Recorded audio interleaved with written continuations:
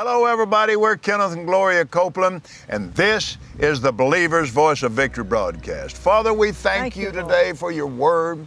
We thank you for sending Jesus to be our Savior and our healer, our baptizer with the Holy Spirit, and our Thank soon coming King. Glory to God. And we thank you and praise you with all of our hearts today. In Praise Jesus' God. name, amen. Amen. Hallelujah. Now then, we are here, as we said earlier, in southwest Arkansas. Um, Gloria was born just two miles up the road here. And uh, not long after we were married, her, her granddad and grandmama gave us four acres right around the here. And, uh, and then we, the kids were just, just little guys. And um, I, I was telling some of the guys yesterday, we were we were my mom and dad came up and we were just oh we were so thrilled and and um, I was just standing back over there. The, of course, the house wasn't here. Standing back over there where the, the big sweet gum tree is. Now just standing there praising the Lord. Little old dry creek bed coming down through here. And I was just praising the Lord and just worshiping Him. And and and I, I heard the Lord say, "That's a pond." Well, it didn't look like any pond to me.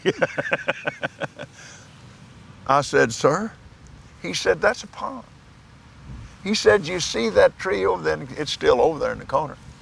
And I said, "Yes, sir." And he described it and pointed it out to me. There's two trees standing over there again. And he said, "If if you will build a levee." from there over to here, and he pointed out another spot there. That's a pond. Well, then I could see it. Of course, that little creek coming down through there. I said, Yeah, that's a pond. so um, I asked Gloria's granddad, I said, Pop, uh, what do you, would you have to do to, and I mentioned to him if you build a, a dam across there and, and so forth. Yeah, he said, that'll work. And uh, I said, Well, who do you get to do something like that?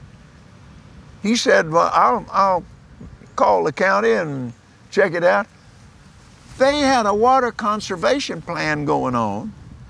As the Lord would have it. Yeah, of course. and they said, um, we'll, we'll dig the whole thing and build the dam and everything for $600. Oh, come on. okay. Where could you get a swimming pool for six hundred dollars? No, you can't. Hallelujah. You got that beautiful pond. It's just the Lord. And He's just done wonderful things like this. And of course, they, they've, I'm sure they've already shown you the shape this house was in. Uh, when we've, uh, it was across the road over here and down, uh, and down a ways. And um, it was on her granddad's land over there, and it's just been said the thing is, uh, uh, I think they said it was a, a, a hundred and five years old, something like that, when we got it. and uh, he said, uh, you know, just move it over across the road. So the first guy came out and looked at it, and he said, uh, Copeland, you know what I'd do? I said, What's that? He said, Let her sit. so we checked around and I called Mr. Wooten. I'll never forget it. He came out there and looked at it and I said, Mr. Wooten, what do you think? I said, Do you uh, think we can move that? He said, Kenneth, I can move anything. And he laughed and he said, it, It'll work. And he said, I'll move it right over there and set her down for you right where it belongs. And it was Mr. Wooten that moved that log house when it was a piece of junk in here. Praise the Lord. Now the other the other log house was it was in good shape when it moved, and then it didn't have to do much to it. But They were both antique log. I mean, old logs. oh yeah, They old both old. houses. Ain't nothing modern about either No. one of them. And and uh, this, and Faith Girl over here, believe in God for a log cabin. I want a log cabin. Good. We need a log cabin. That that, that it'll look nice out here.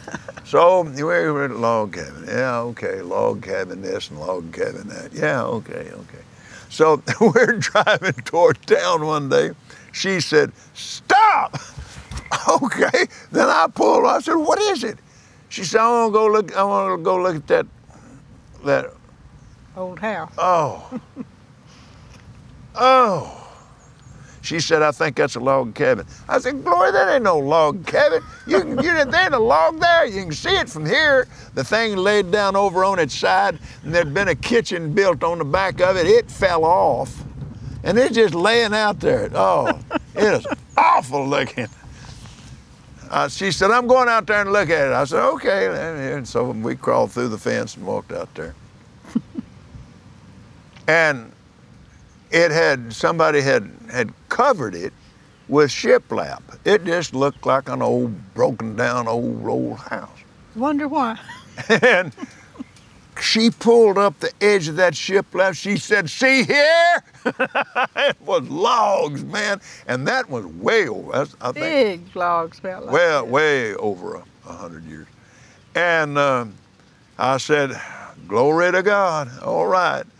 And we went and talked to the people that owned it, and and uh, well, it had been in their family for years and years. But she said, "Yeah, I will." She said, "I'll sell it to you kids for five hundred dollars." And called Mr. Wooten. he hauled it out there and set it up, and and now you see the pictures of it, and it's a great blessing. The Lord has a blessing for you like that. But see, Gloria, Gloria believed God, exercised her faith. So she's seeing that thing on the inside. There's no telling how many, how many, how many times we drove by that thing, never looked at it. But the Spirit of God knew mm-hmm. that as logs. Yeah, he did. Huh? Amen. Amen. Now then, let's go back. Proverbs 4. My son, verse 20, this is God's prescription for healing. My son, attend to my words, incline thine ear unto my sayings, let them not depart from thine eyes, keep them in the midst of thine heart, for they, my words, are life. Cross reference says medicine unto those that find them, and health, health Yep. to all their flesh, their life, their medicine, their health what to your scripture. flesh. They'll Oh. heal your mm-hmm. flesh. You can you can you can get on that those few verses of scripture right there and do what verse 23 says keep your heart protect your heart don't let a bunch of junk get in there and just, just lock in on the word What a scripture. healing words. We've already talked about Luke chapter 5. They went to hear and to be healed. The hearing came first because Jesus' preaching brought faith. Now look at verse 24 is the key to success, though. That's the key to success. Yeah, it is. Yeah, it is. Put away from you a froward Or a disobedient. or a disobedient mouth and perverse lips put far from thee. Don't let your mouth be disobedient. Put the words of your mouth should be the word of God about every situation and, and everything. Amen. That's right. Possession of the word confession of the word brings possession of what you're saying. And the New Testament makes it so plain. You you put it in your put it in your eyes, put it in your ears, put it in your heart, and say it out your mouth. You got to say it out your mouth. Yeah. And that's the way it Uh, all some works. very close uh, friends of ours. Uh, They they were not a, a part part of the uh, word of faith, and uh, and they had invited me. Well, it's John and Carol Arnott uh, in Toronto, the the church where the the that Toronto great Blessing. outpouring of the Toronto blessing. Whoa! I'm telling you, here's people that knew knew a whole lot more about praising the glory down than we did. Well, we majored on faith; they majored in the glory. See, God has God has specialists. You you don't want a general practitioner doing a lung transplant on you. That's right. And, I mean, you have specialists. This is faith is what we were called to specialize in. And back there years ago, people jump on me and say, "You don't preach the whole counsel of God." Well, the first thing, I don't know the whole counsel of God.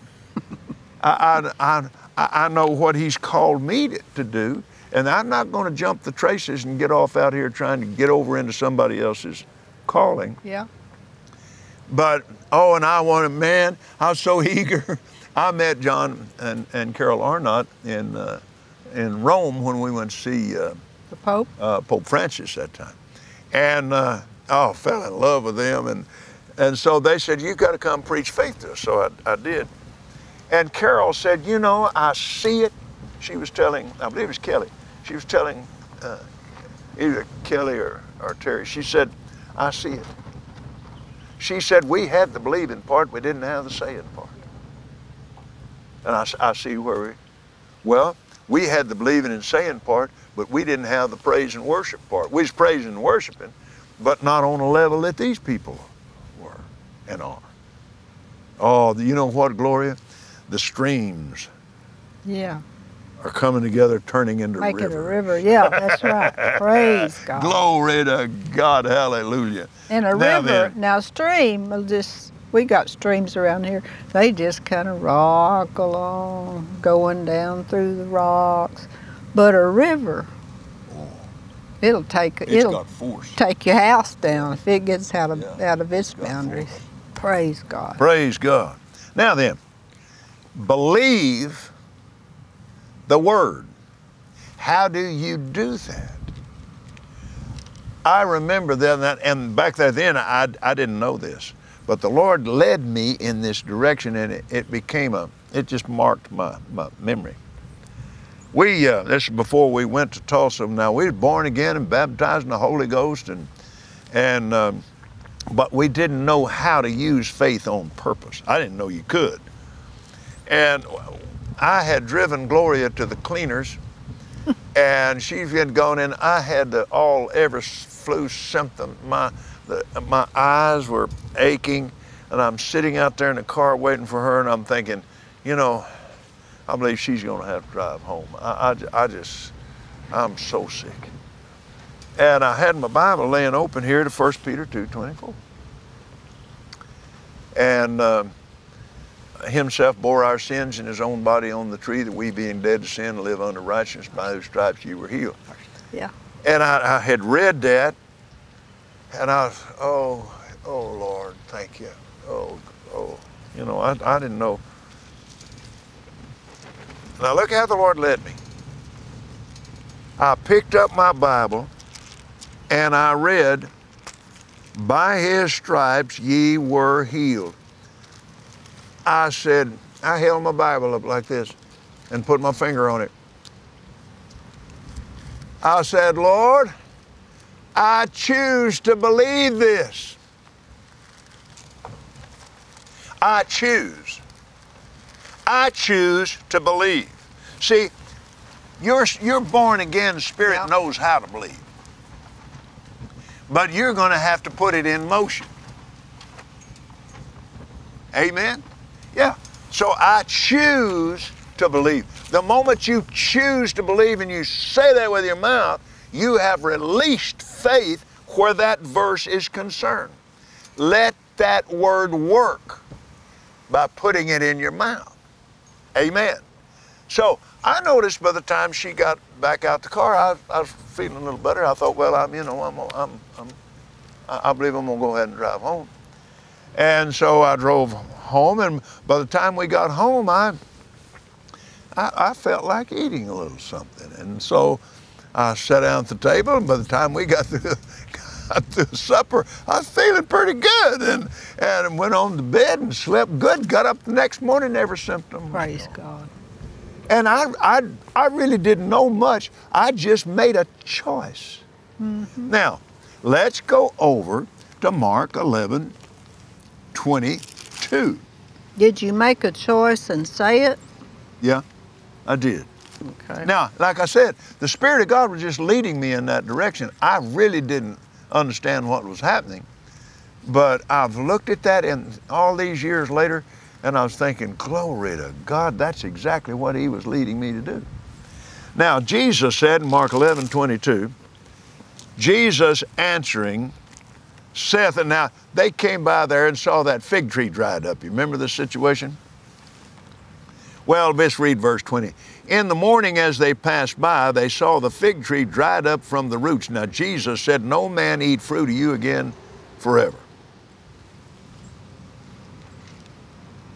And Peter, calling remembrance, saith unto him, Master, behold, the fig tree which thou cursed is withered away. Jesus answering saith unto them, Have faith in God. The cross reference says, or have the faith of God, or have the God kind of faith. Now, what he's doing here, he is revealing to you and to me and for all who care to know how faith works. It's the faith of God. Yeah, yeah but Brother Copeland, that's the faith of God. I know it. And he said, have it. Now, when you got born again, the faith of God was put in you. That's the way you got born again. You were saved by grace through faith. And, for verily I say unto you, whosoever. So, whosoever can use the faith of God. Whosoever meaneth me. Yeah, it meaneth me too.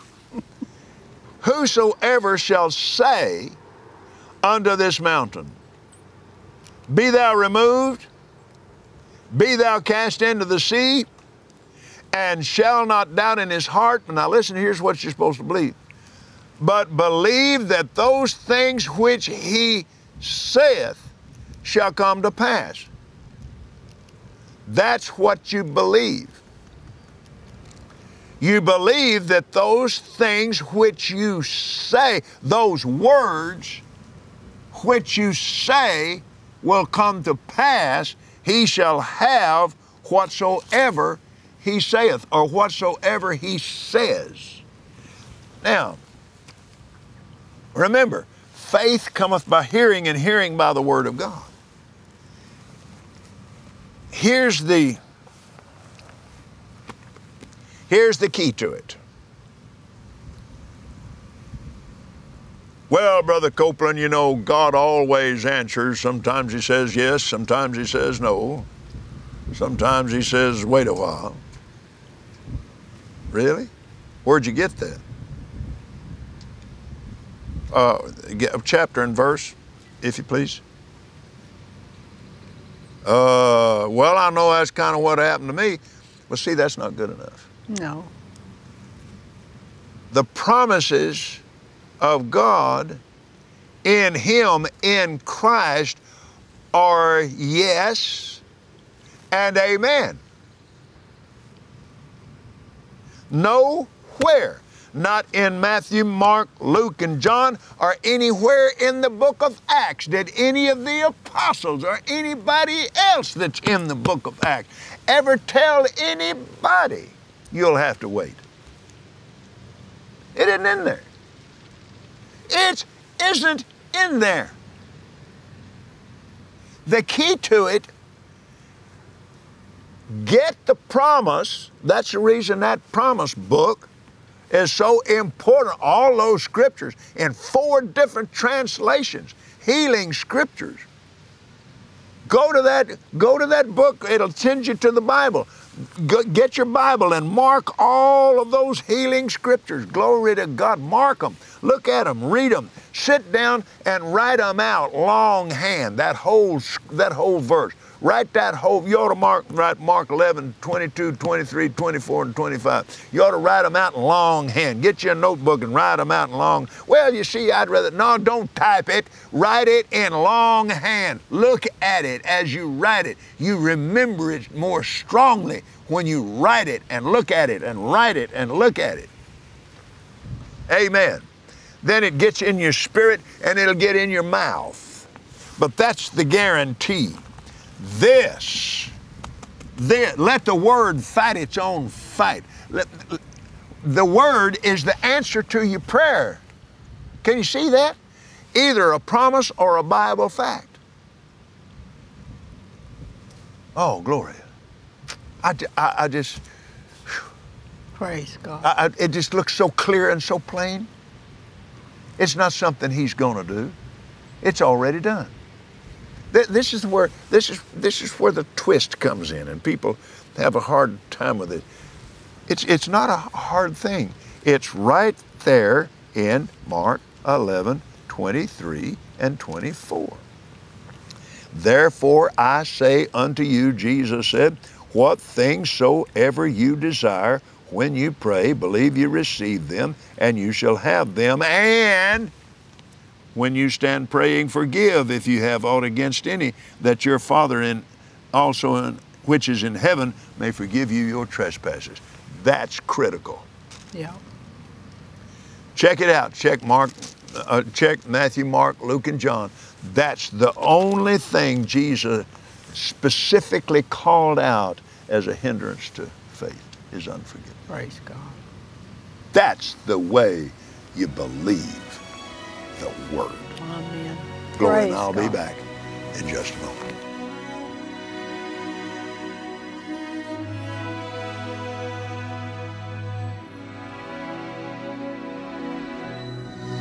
We hope you enjoyed today's teaching from Kenneth Copeland Ministries.